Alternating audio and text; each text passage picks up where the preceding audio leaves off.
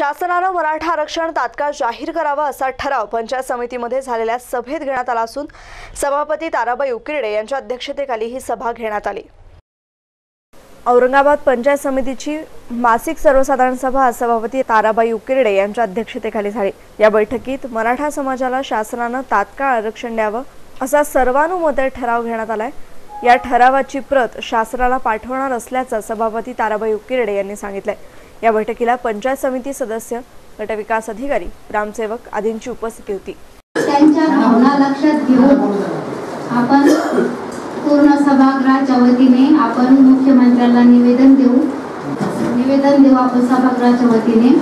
आणि जे मुख्यमंत्री निर्णय घेत घेतील